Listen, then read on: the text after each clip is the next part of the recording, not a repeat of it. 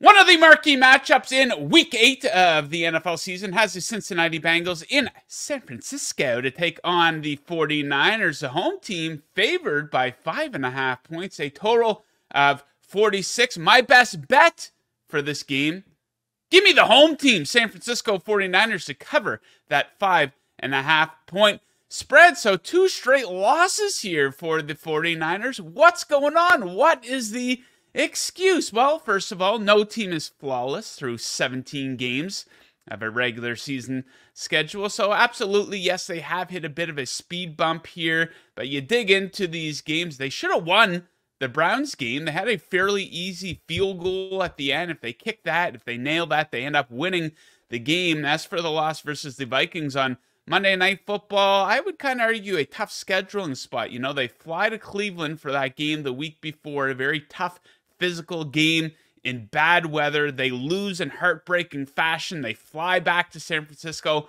practice all week. Then they fly back to Minnesota versus a very desperate Vikings team. And the wheels kind of fell off early in that game for the 49ers. Christian McCaffrey fumbling in the red zone early in the game on their first possession of the game. They never had a lead. So you take a look at the other side of things here. What a perfect situation for the Cincinnati Bengals, right? Everything's setting up nicely for them. Two straight wins.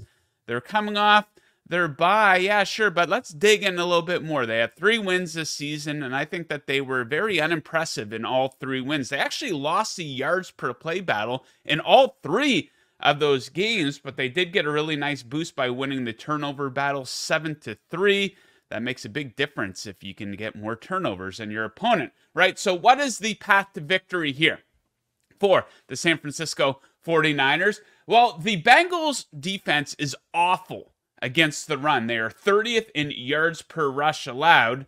Not good on third down either. As a result for that, I think we could see a run heavy attack from the 49ers. They're pretty good at running the football, they're pretty good at converting on third down. So, what about the other side of things here? The Bengals offense. Well, the Bengals offense has been god awful this season.